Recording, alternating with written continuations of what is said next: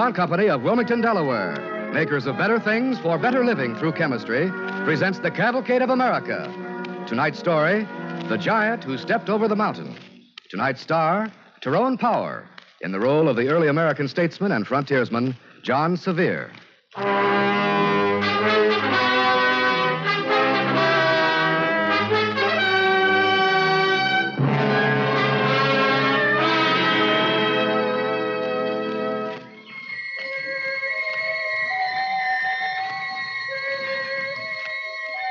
Shadows of history, I am coming to you. Out of the gray mist that covers the Carolina mountains, there is a story that must be told. And it is my story. Did you know that at one time in the history of the United States, shortly after the Revolution, there was a state in our Union known as Franklin? And I, John Sevier, was its governor. North Carolina had given our territory to the federal government, but it wasn't wanted. So we set ourselves up as a state. Then Carolina suddenly realized that it was valuable and wanted it back. They even went so far as to arrest many of our officials for treason. Who can blame them, John? The high mountains of lumber, rich, productive valleys. This may be a wilderness now, but they know that it could bring gold into the Carolina treasury. We've got to stop them. How? How? Force against force. And I suppose you think that I, as governor, must put that force to work? Why not? We've got our own militia, and every man jack burning to fight for our rights. Guns, bullets.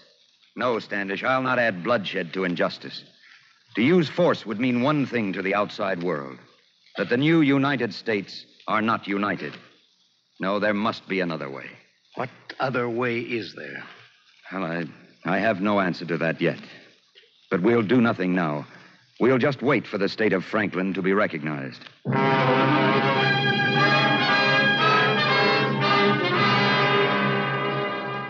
Weeks, months went by. I applied again to the federal government for statehood for Franklin. But a willful group of men in North Carolina were making other plans for our state to be.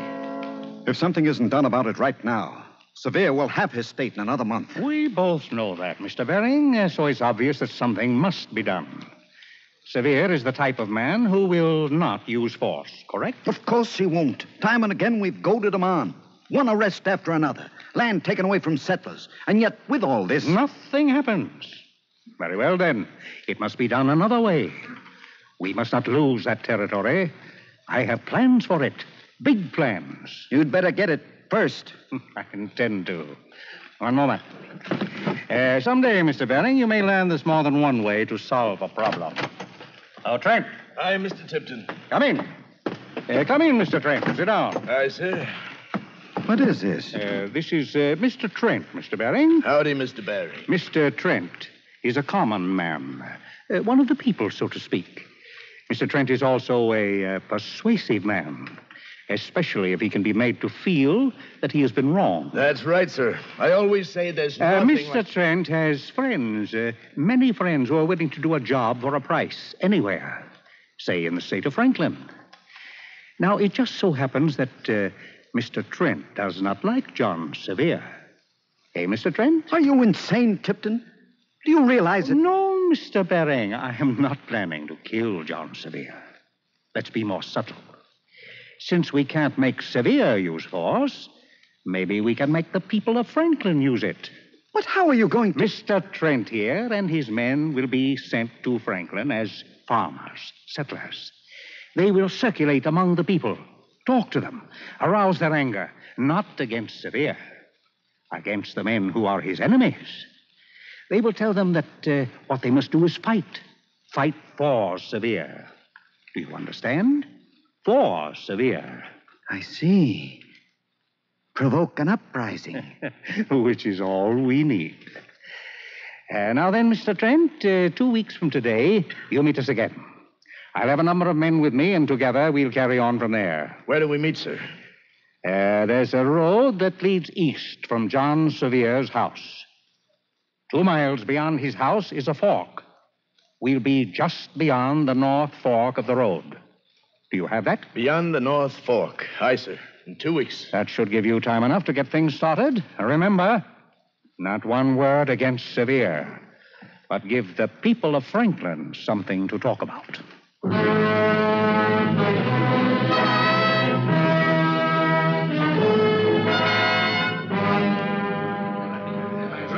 That's right. And I, for one, don't want to stand by any longer. Sure, John Sevier tells us to wait, but how long can that go on? Never seen you around here before, mister. Who might you be? Name is Trent. I got a place near Lone Valley. Prettiest place in the state. How can you call it a state when That's what I mean. Now you take that place of mine.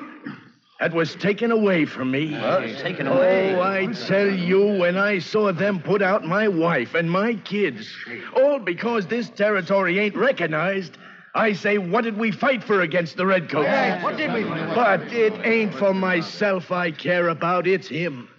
John Sevier. You're certainly right, man. But one man alone, alone against all of them. What I'm afraid of is that they'll come into Franklin someday and, well, who knows what'll happen to Sevier. Well, they better not lay a hand on John Sevier. Sooner or later they will. Mark you, sooner or later. I tell you, when the time comes, we'll fight for John Sevier.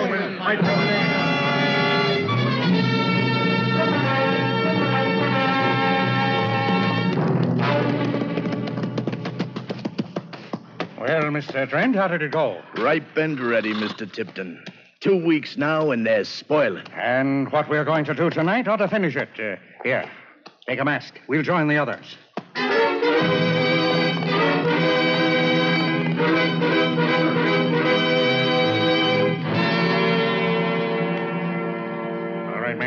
Men. This is Sevier's house. We're going to force our way inside. Destroy whatever you don't want, but hands off Sevier, do you understand? Hands off Sevier. All right. Dismount. Put on your masks. Come on. Come on. Now, thank you.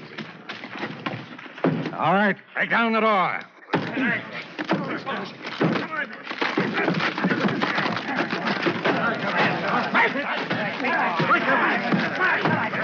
What's going on here?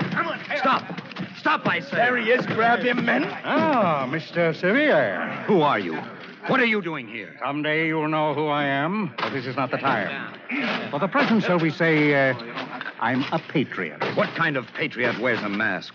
Mr. Sevier, I have only one thing to say to you. Let this stand as a warning and a lesson. We don't intend to put up with any more of your treason against the sovereign state Oh, of. so that's it. North Carolina. Why, I'll. Hold him. You listen, Mr. Sevier, and listen well. Get out of this territory. And if I refuse, What these men are doing tonight is nothing to what may happen. I shall stay here until Franklin is recognized as a state. If you think that men who refuse to show their faces can intimidate and frighten. Look around you. Not a pretty sight, is it? The work of cowards never is. Why, you. I. I apologize for that, Mr. Sevier. I lost my temper. But you are going to lose a state.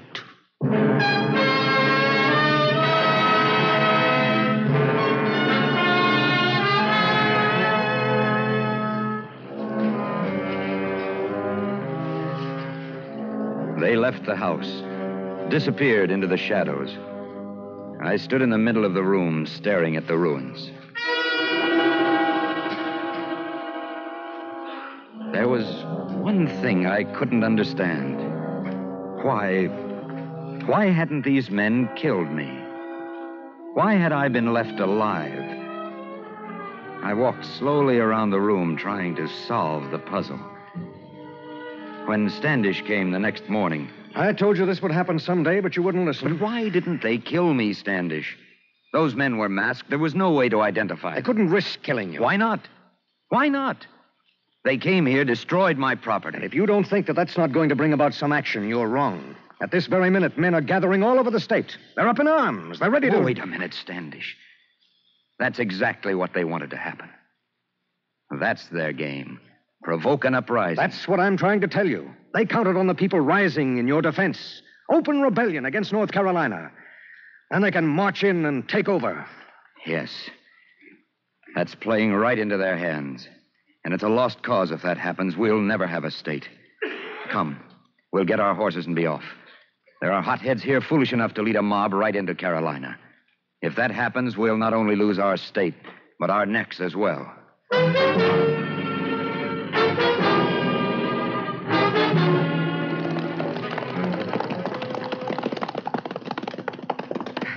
We'll never catch them, John. They're marching. We're on horseback. We'll. If we do catch them, you think you'll stop them? We can try. They were ready for this, John. Come on. We're wasting time.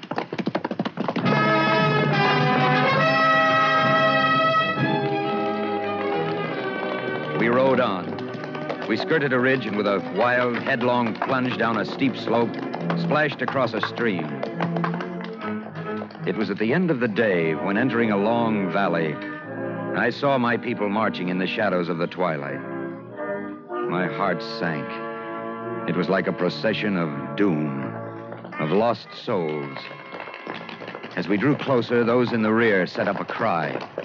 It's John Sevier! John Sevier, come to lead us!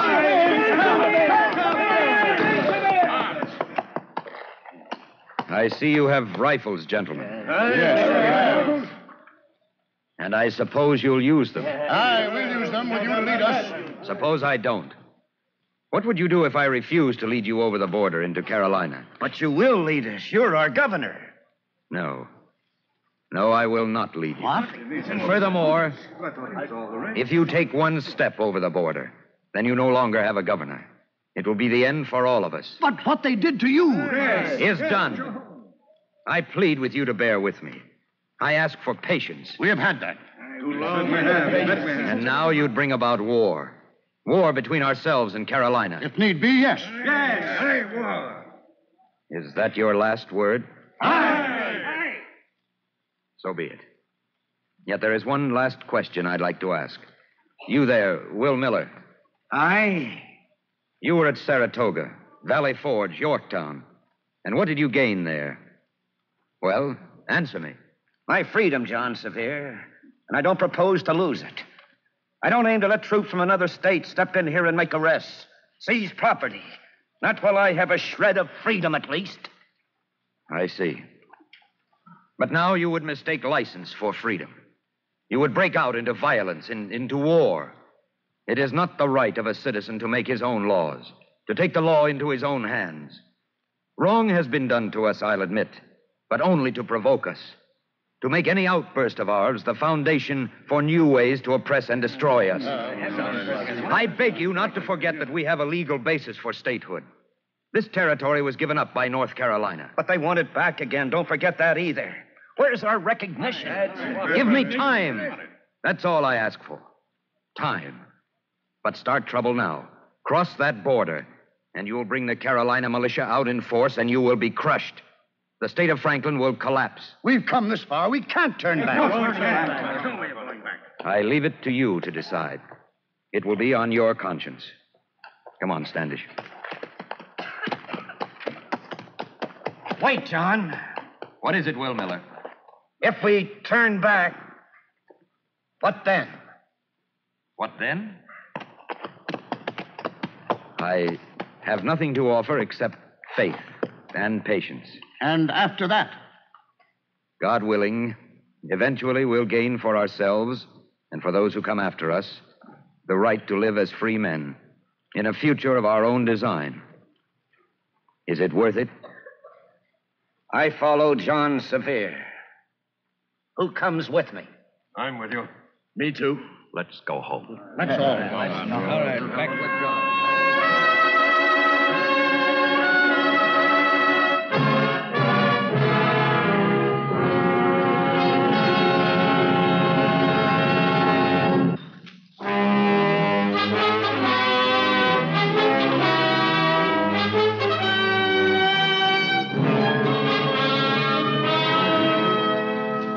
Our play continues, starring Tyrone Power as John Sevier, governor of Franklin, the lost state. Sevier is telling us of events that took place when it was struggling for recognition.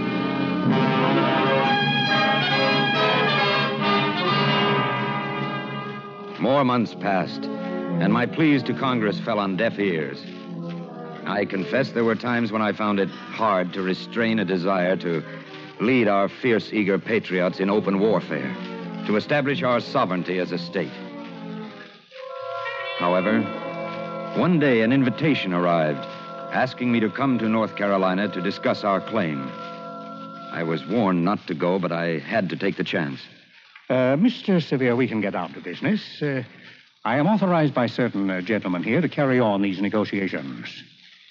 Sir, what is it worth to you to give up this idea of statehood for Franklin? What is it worth to me? I'm afraid I don't understand. Sevier, North Carolina is debt ridden. Our finances are topsy turvy, unsure. Taxes will be levied, heavy taxes, unless we find a way to pay off our debt. Now, there are those of us who see a way to increase revenue by the acquisition of new territory. Whose revenue? North Carolina's or yours? Oh, come, come, Sevier. You're not talking to some of your scrawny mountain goats now.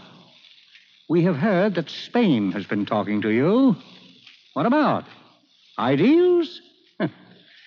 well, we can offer you money for that territory, too. I'm sure you're not speaking for North Carolina. Uh, shall we say, uh, for interested parties? Deliver, Franklin, and I promise you there'll be fortunes for all of us. I'd like to ask one question. Yes? The people in the territory. What about their wishes? What will they think? Immigrants, settlers, mongrels. Think? My dear fellow, even if they could, what of it? You hold that territory in the palm of your hand. You've never seen it, have you? uh, some time ago. Yes. I thought I recognized that voice. Well, Mr. Tipton, there are roads, farms, there are people. Ignore their rights just like that? Look what you'd gain. What have you to lose? Something I'm rather proud of. Something you wouldn't understand even if I told you. Good day. You refuse? It's a long ride back, and I should be starting. Goodbye. Uh, those are militiamen, Mr. Sevier. We tried an unofficial measure, but we also took steps to notify the government of North Carolina that an outlaw was in our state. I believe you are going to be placed under arrest for treason.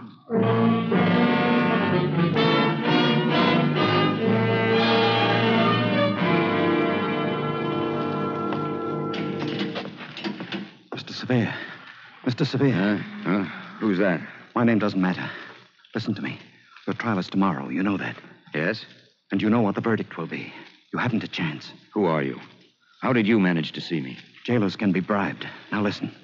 We're sick of all this bickering. We're going to see to it that there'll be an end to Carolina's bungling in Franklin pretty soon. There are men here in Carolina working for its recognition. One way or another, it will come. Oh, this is good news. I risked everything to come here. Now then, your friends will be outside the courtroom tomorrow. On a prearranged signal, a man will shout, Haven't you done with that man yet? There's a window. It will be to your right. Jump through it. We will take care of the rest. Well, did you hear me? A short time ago, I came here to negotiate. I was betrayed. Now, if I am shot while escaping, it will save the trouble of a verdict. Mr. Sevier, I can do no more than ask you to trust me. I can do no more than wonder and hope.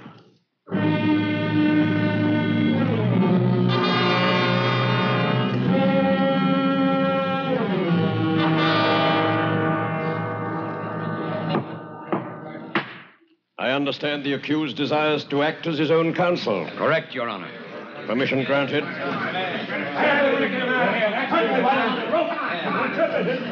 What is what is that noise, bailiff? What is that? A crowd, Your Honor, gathering outside. See that they maintain order. Proceed, Mr. Sevier. I. I am charged here today with the crime of high treason against a sovereign state of the Union. I plead not guilty. I submit that my actions were and always will be in the interests of our country. I do not submit to. Haven't they finished with that man yet? I. I do not submit to the charges that I. that. Mr. Sevier, proceed. Yes, Your Honor. I will proceed. He's headed for the window. Stop it! Catch him! Hey, Mr. Sevier. Come this way. Here's a horse. Thank you. It was a chance, but I had to. No time to talk. Are you all right? Yes. Then be off with you. Hurry.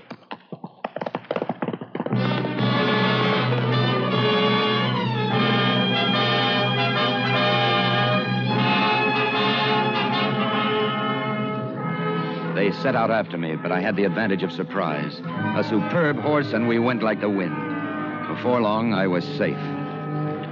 Meanwhile, my followers in Franklin were up in arms over my betrayal.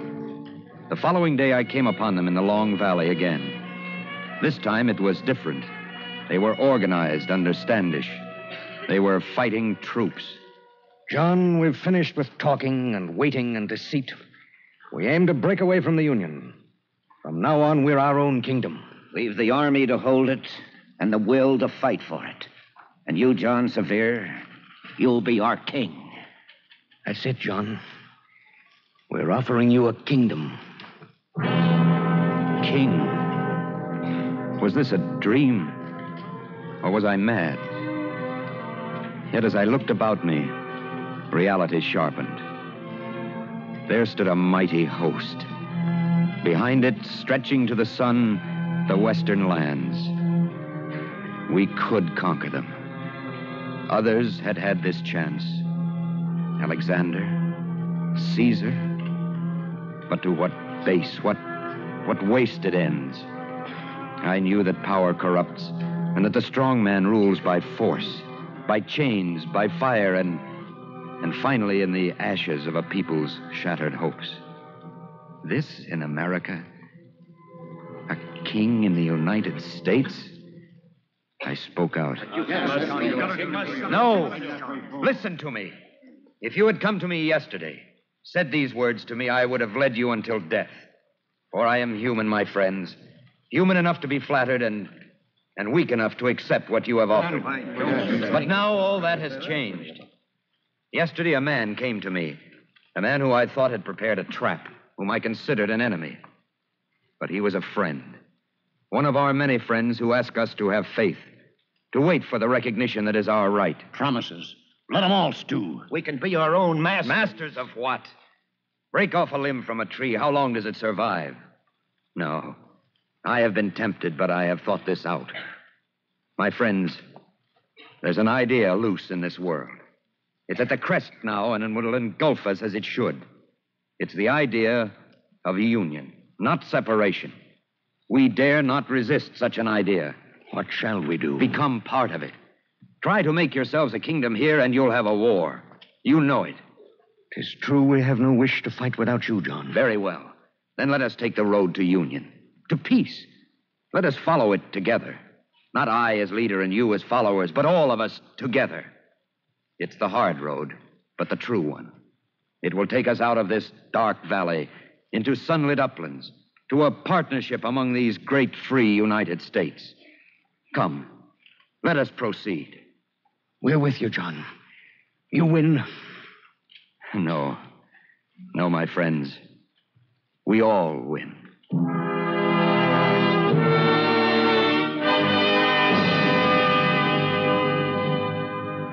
Well, that is my story. We disbanded peacefully and in our homes and towns, nurtured our faith in America and whatever future she held for us. And we were rewarded. For though our state of Franklin was lost to history, our territory became another state after all Tennessee. Yes, that is my story. And now I must take leave of you. It happened a long time ago. So long ago that I've been afraid there would be those among you who would forget. Or, or those who might be lost. Who might be wandering from the road we must all travel. Together.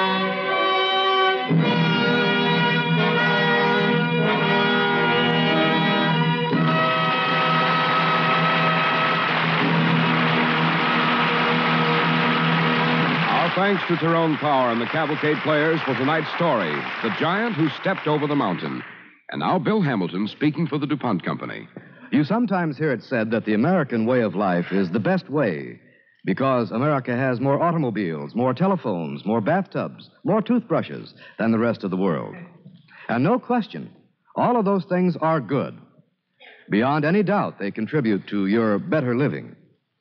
But is this why the founding fathers pledged their lives, their fortunes, their sacred honor? No. There were no automobiles, no telephones in George Washington's day, no bathtubs, and few toothbrushes. We could give up every comfort and convenience we have, and our American way of life would still be the best pattern for human society that has ever been found. Why? Because these material things are only the results of the American system. It is the system itself that is so precious that millions of men and women from other lands have suffered untold hardship to come here and take out American citizenship. Our form of government is based on the freedom, the dignity, and the independence of the individual man. In this belief, we have put our faith. If a man has freedom, so Americans believe, that is the all important thing. The other good things will follow, including the comforts and conveniences. Freedom is something few people ever knew until the United States of America came into being. America's source of greatness lies in the belief that government should be the servant, not the master of the individual. This belief holds out more hope for the future than any other. It is precious indeed. Let us cherish and safeguard it against all enemies of freedom. Tonight's DuPont Cavalcade, The Giant Who Stepped Over the Mountain, was written by Russell Hughes, was adapted from a story in the book General Washington's Son of Israel and Other Forgotten Heroes of History by the late Charles Spencer Hart, published by Lippincott. Original music was composed by Ardon Cornwell, conducted by Donald Voorhees. The program was directed by John Zoller. Mr. Power appeared through the courtesy of 20th Century Fox and may currently be seen in the Technicolor production I'll Never Forget You. This is Cy Harrice speaking. The DuPont Cavalcade of America comes to you from the Belasco Theater in New York and is sponsored by the DuPont Company of Wilmington, Delaware, makers of better things for better living through chemistry.